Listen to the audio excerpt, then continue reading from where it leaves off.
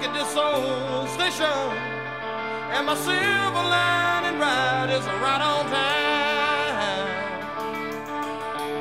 And as I buy myself a one-way ticket for somewhere else on.